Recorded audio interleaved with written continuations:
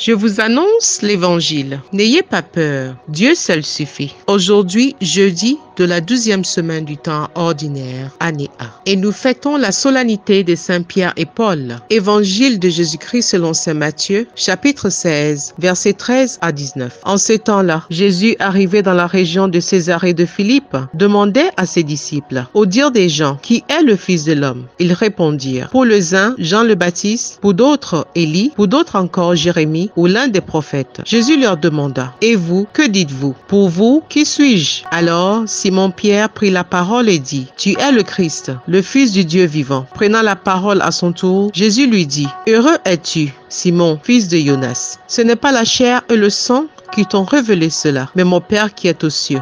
Et moi je te le déclare, tu es pierre, et sur cette pierre je bâtirai mon église, et la puissance de la mort ne la portera pas sur elle. Je te donnerai les clés du royaume des cieux. Tout ce que tu auras lié sur la terre sera lié dans les cieux, et tout ce que tu auras délié sur la terre sera délié dans les cieux. Acclamons la parole de Dieu. Louange à toi, Seigneur Jésus. Tu es le Christ, le Fils du Dieu vivant. Saint Matthieu veut nous faire découvrir en ce jour l'identité du Christ. Jésus est fils de l'homme, fils de Dieu, vivant par-dessus tout. Il est le Christ, c'est-à-dire le Messie, le Sauveur du monde. Frères et sœurs en Christ, à chacun de nous qui participons à l'onction de Jésus est posée la question, qui est Jésus? Une réponse à laquelle nous devons répondre individuellement. Mais quel que soit ce que nous disons ou pensons de lui, il restera le même. Que le Christ nous aide, comme les saints Pierre et Paul, à mieux le connaître afin de l'aimer et lui rendre témoignage davantage.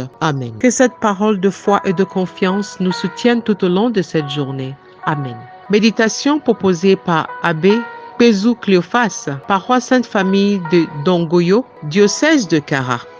Nous souhaitons bonne fête à tous ceux et celles qui célèbrent un événement heureux en ce jour et à tous ceux et celles qui traversent des moments difficiles. Nous vous disons courage et heureuse espérance en Dieu. Que Dieu Tout-Puissant nous bénisse et nous garde. Au nom du Père et du Fils et du Saint-Esprit. Amen.